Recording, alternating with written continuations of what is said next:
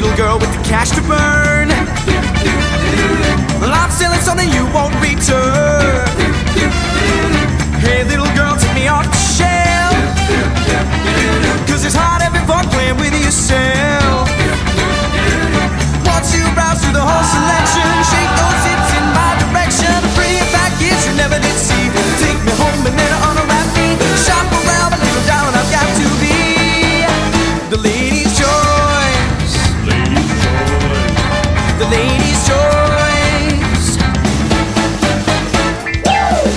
girl looking for a sale.